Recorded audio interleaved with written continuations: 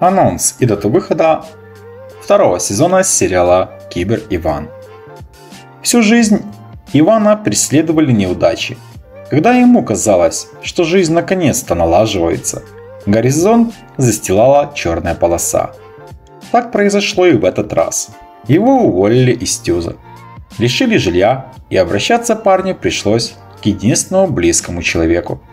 Его отец Дмитрий не был рад приходу сына. Три года назад Иван ушел из дома и за это время ни разу не связался с отцом. Но у судьбы свои пути, и вскоре они будут зависеть друг от друга. Продолжение комедии «Кибер Иван» может выйти в середине 2024 года. Это неофициальная версия, подкрепленная лишь общедоступными результатами. Среди них рейтинг 6,8 балла на кинопоиске и неоднозначная концовка, подразумевающая выход нового сезона.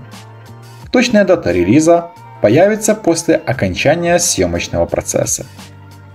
Если вам нравится сериал, ищите выхода новых серий, тогда ставьте лайки, подписывайтесь на канал, жмите на колокольчик и будете в курсе последних новостей о новых сериалах.